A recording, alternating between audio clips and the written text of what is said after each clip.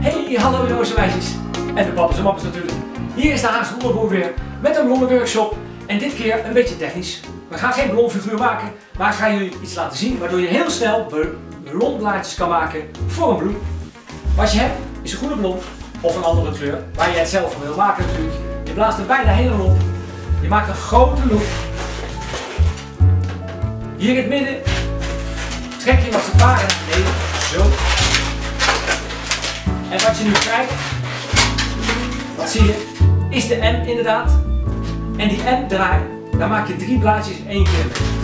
Je moet het midden even uitzoeken. Je doet ze bij elkaar. Je pakt het middenbeet van die M.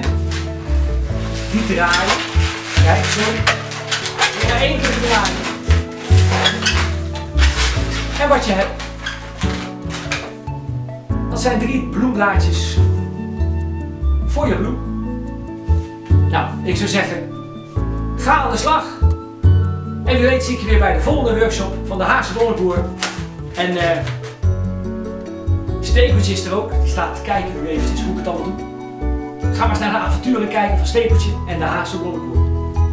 Nou, tot de volgende keer. Doei! En stekeltje. De Haagse ballonnenboer. En stekeltje.